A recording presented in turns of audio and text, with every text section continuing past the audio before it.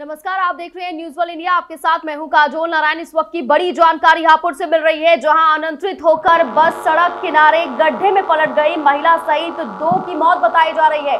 आधा दर्जन से ज़्यादा लोग घायल हैं। पुलिस ने रेस्क्यू कर घायल लोगों को अस्पताल में भर्ती कराया। दिल्ली से मुरादाबाद शादी समारोह में शामिल होने जा रहे थे बस में सवार लोग। गढ़मुक्तेश्वर कोतवाली क्षेत्र हाईवे की ये घटना बताई जा रही है। बड़ी जानकारी इस वक्त हापुड़ से मिल रही है, जहाँ पर ये भीषण सड़क हादसा हो गया। बस सड़क किनारे गड्ढे में पलट गई और इस हादसे में महिला सहित दो की मौत बताई जा रही है। आधा दर्जन से ज़्यादा लोग घायल बताए जा रहे हैं। सूचना मिलते ही पुलिस मौके पर पहुँची है। रेस्क्यू कर घायल लोगों को अस्पताल में भर्ती कराया, जिनमें से कईयों की हालत नाजुक बताई जा रही है। दिल्ली से मुरादाबाद शादी समारोह में शामिल होने के लिए बस में सवार लोग जा रहे थे, तभी यह हादसा हो गया।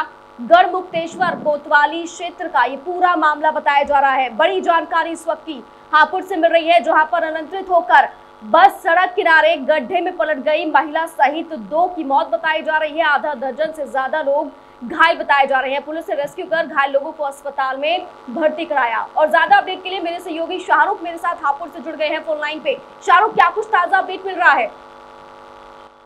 देखिए, बिल्कुल मैं आपको बताना चाहूँगा कि ये गढ़मुक्तेश्वर कोतवाली क्षेत्र का जो टोल प्लाजा है, उसके नज़दीक की पूरी एक घटना है, जहाँ अनियंत्रित होकर ये बस पलटी, जिसके बाद इलाके में भी अफरा तफरी का माहौल बन गया। उन लोगों को जो बस में फंसे हुए थे, उन्हें रेस्क्यू कर सभी को बाहर निकाल लिया गया है और जो घायल है, उन्हें अस्पताल में भर्ती कराया गया है। वहीं ऑन द स्पॉट एक महिला की मौत भी वहाँ हो गई है। हालाँकि एक व्यक्ति की भी अभी मौत में बताई जा रही है लेकिन महिला का स्पष्ट है कि वहाँ मौके पर ही मौत हो गई अभी जो घायल है उनका अस्पताल में इलाज जारी है। जो आला अधिकारी है वहाँ के पुलिस अफसर है वो भी मौके पर पहुँच रहे हैं और वहाँ का मुआयना कर रहे हैं। बाकी जो पुलिस कर्मी है लगातार वो वहाँ पर डटे हुए और सभी घायलों का अस्पताल उनके द्वारा पहुँचाया जा रहा है। जी। बिल्कुल शाहरुख जो घायल हो गए उनकी हालत क्या बताई जा रही है? कितने लोग ऐसे हैं जिनकी हालत गंभीर है? देखिए, बिल्कुल मैं आपको बता जाऊँगा इस वक्त जो पुलिस अफसर है, वहाँ के जो जो लोग बसों में फंसे थे, बस के अंदर उन सभी को बाहर निकाला गया है। अस्पताल में सभी को भर्ती कराया गया है। इलाज जारी है। अगर गंभीर की बात की जाए तो सभी सभी को कहीं ना कहीं मामूली और गंभीर चोटें ज़रूर आई हैं। अभी सभी का इलाज चल रहा है और जिसमें मौत की अगर बात की जाए तो महिला की ऑन द स्पॉट मौत हुई है। बाकी अभी सभी का इलाज जारी है। वो अभी इस अधिकारियों से हमारी बात हुई है। उनका भी कहना है कि सभी को अस्पताल में भर्ती कराया जा रहा है। और कहाँ जा रहे थे? क्या इनकी शिनाख्त हो पाई है जिन लोगों की मौत हुई है? देखिए बिल्कुल आपको बताना चाहूँगा कि ये लोग एक शादी समारोह में ये मुरादाबाद बताया जा रहा है कि ये लोग दिल्ली से मुरादाबाद की ओर ये लोग जा रहे थे और ये टोल प्लाजा के पास नज़दीक वहाँ पहुँचे तो वहीं उसी के नज़दीक इनकी बस जो है अनियंत्रित होकर पलट गई। आखिर कारण क्या रहा है?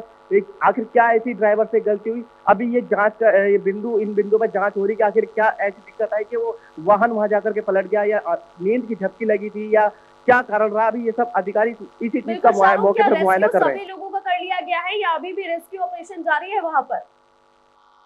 बिल्कुल बिल्कुल सभी का जो है रेस्क्यू कर लिया गया है और सभी को अस्पताल में भर्ती कराया गया है। बिल्कुल बहुत शुक्रिया तमाम जानकारी पहुँचाने के लिए शाहरुख की। बड़ी जानकारी इस वक्त की हापुड़ से मिल रही है जहाँ पर ये भीषण सड़क हादसा हो गया। बस पलटने से मौके पर ही महिला समेत दो की मौत हो गई है। आधा दर्जन से ज़्यादा लोग घायल बताए जा रहे हैं। सूचना मिलते ही पुलिस मौके पर पहुँची है। सभी घायलों को अस्पताल में इलाज के लिए भर्ती कराया गया, जिनमें से कईयों की हालत गंभीर है। फ़िलहाल सभी का रेस्क्यू कर लिया गया है। बताया जा रहा है कि किसी शादी समारोह में जा रहे थे, बस में सवार लोग, तभी यह भीषण हादसा हो गया।